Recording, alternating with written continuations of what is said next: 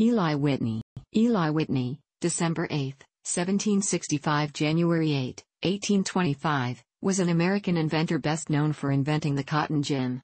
This was one of the key inventions of the Industrial Revolution and shaped the economy of the antebellum South. Whitney's invention made upland short cotton into a profitable crop, which strengthened the economic foundation of slavery in the United States. Despite the social and economic impact of his invention, Whitney lost many profits-in legal battles over patent infringement for the cotton gin. Thereafter, he turned his attention into securing contracts with the government in the manufacture of muskets for the newly formed United States Army. He continued making arms and inventing until his death in 1825. Whitney was born in Westborough, Massachusetts, on December 8, 1765, the eldest child of Eli Whitney Sr., a prosperous farmer, and his wife Elizabeth Fay, also of Westborough.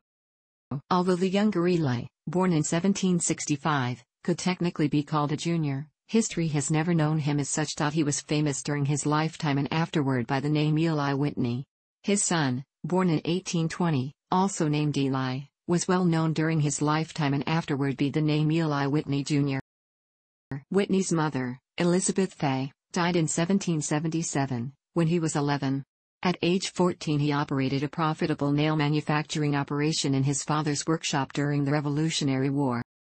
Because his stepmother opposed his wish to attend college, Whitney worked as a farm laborer and school teacher to save money. He prepared for Yale at Leicester Academy, now Becker College, and under the tutelage of Reverend Elizur Goodrich of Durham, Connecticut, he entered in the fall of 1789 and graduated Phi Beta Kappa in 1792. Whitney expected to study law but, finding himself short of funds, accepted an offer to go to South Carolina as a private tutor. Instead of reaching his destination, he was convinced to visit Georgia. In the closing years of the 18th century, Georgia was a magnet for New Englanders seeking their fortunes. Its Revolutionary era governor had been Lyman Hall, a migrant from Connecticut. When he initially sailed for South Carolina, among his shipmates were the widow, Catherine Littlefield Greene, and family of the Revolutionary hero General Nathanael Greene of Rhode Island. Mrs. Greene invited Whitney to visit her Georgia plantation, Mulberry Grove.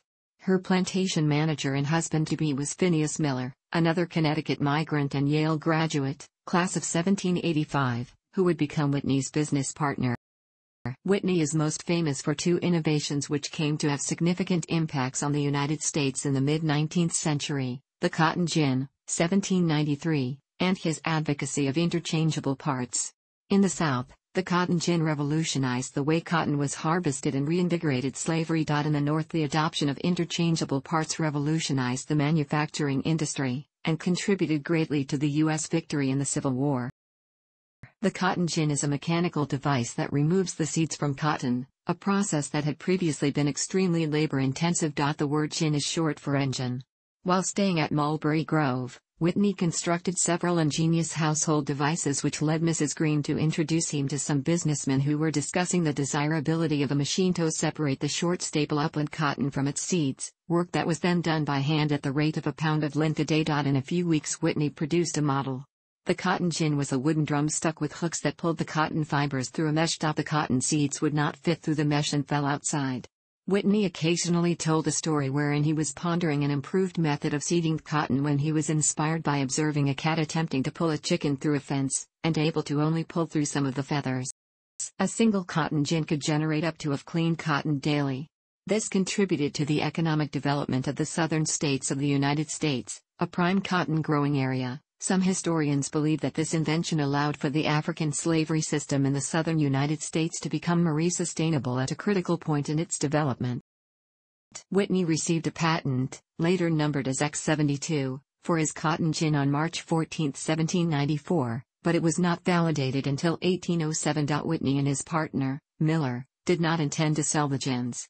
Rather, like the proprietors of grist and sawmills, they expected to charge farmers for cleaning their cotton, two-fifths of the value, paid in cotton.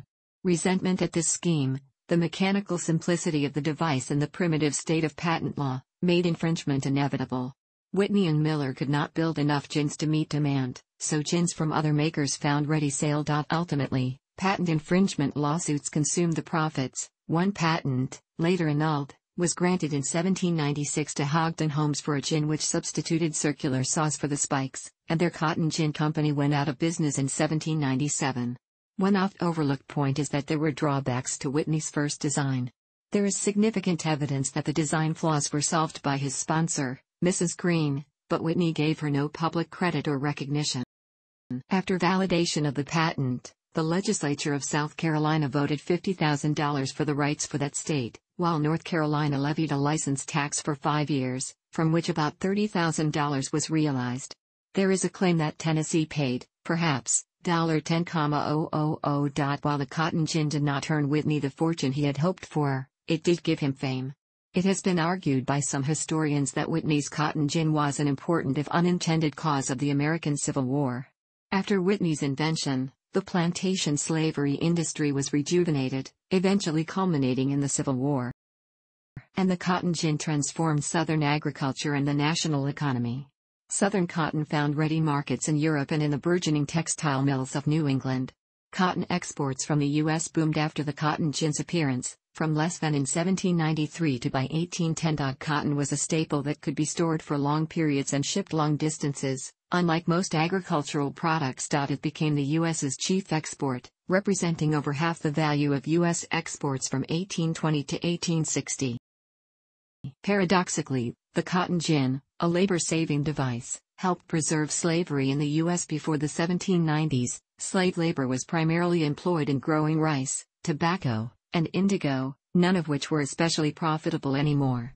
Neither was cotton, due to the difficulty of seed removal. But with the gin, growing cotton with slave labor became highly profitable, the chief source of wealth in the American South, and the basis of frontier settlement from Georgia to Texas.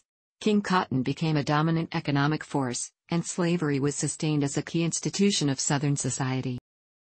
Eli Whitney has often been incorrectly credited with inventing the idea of interchangeable parts, which he championed for years as a maker of muskets. However, the idea predated Whitney, and Whitney's role in it was one of promotion and popularizing, not invention. Successful implementation of the idea eluded Whitney until near the end of his life, occurring first in others' armories.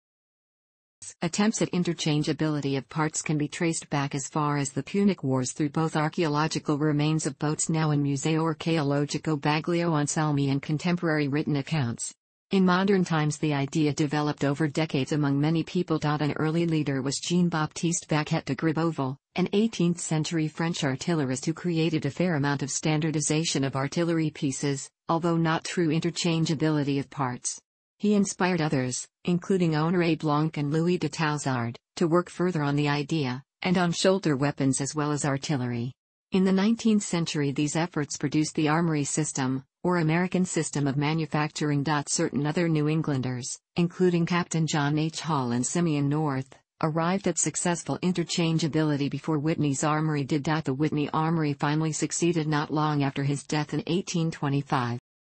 The motives behind Whitney's acceptance of a contract to manufacture muskets in 1798 were mostly monetary. By the late 1790s, Whitney was on the verge of bankruptcy and the cotton gin litigation had left him deeply in debt. His New Haven cotton gin factory had burned to the ground, and litigation sapped his remaining resources. The French Revolution had ignited new conflicts between Great Britain, France, and the United States. The new American government, realizing the need to prepare for war, began to rearm. The War Department issued contracts for the manufacture of 10,000 muskets.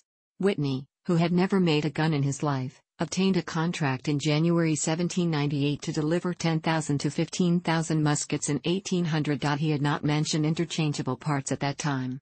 Ten months later, the Treasury Secretary, Oliver Wolcott Jr., sent him a foreign pamphlet on arms manufacturing techniques possibly one of Honoré Blanc's reports, after which Whitney first began to talk about interchangeability. In May 1798, Congress voted for legislation that would use $800,000 in order to pay for small arms and cannons in case war with France erupted. It offered a $5,000 incentive with an additional $5,000 once that money was exhausted for the person that was able to accurately produce arms for the government. Because the cotton gin had not brought Whitney the rewards he believed it promised, he accepted the offer. Although the contract was for one year, Whitney did not deliver the arms until 1809, using multiple excuses for the delay. Recently, historians have found that during 1801 to 1806, Whitney took the money and headed into South Carolina in order to profit from the cotton gin. Although Whitney's demonstration of 1801 appeared to show the feasibility of creating interchangeable parts, Merritt Roe Smith concludes that it was staged and duped government authorities into believing that he had been successful. The charade gained him time and resources toward achieving that goal. When the government complained that Whitney's price per musket compared unfavorably with those produced in government armories, he was able to calculate an actual price per musket by including fixed costs such as insurance and machinery, which the government had not accounted for. He thus made early contributions to both the concepts of cost accounting and economic efficiency in manufacturing. Machine tool historian Joseph W. Roe credited Whitney with inventing the first milling machine circa 1818. Subsequent work by other historians, Woodbury, Smith, Muir, Battison, cited by Baida, suggests that Whitney was among a group of contemporaries all developing milling machines at about the same time 1814 to 1818, and that the others were more important to the innovation than Whitney was. The machine that excited Roe may not have been built until 1825, after Whitney's death, therefore, no one person can properly be described as the inventor of the milling machine. Despite his humble origins, Whitney was keenly aware of the value of social and political connections. In building his arms business, he took full advantage of the access that his status as a Yale alumnus gave him to other well placed graduates, such as Oliver Wolcott Jr., Secretary of the Treasury, class of 1778, and James Hillhouse, a New Haven developer and political leader. His 1817 marriage to Henrietta Edwards, granddaughter of the famed evangelist Jonathan Edwards, daughter of Pierpont Edwards, head of the Democratic Party in Connecticut, and first cousin of Yale's president, Timothy Dwight, the state's leading Federalist, further tied him to Connecticut's ruling elite. In a business dependent on government contracts, such connections were essential to success. Whitney died of prostate cancer on January 8, 1825, in New Haven, Connecticut, just a month after his 59th birthday. He left a widow and his four children behind.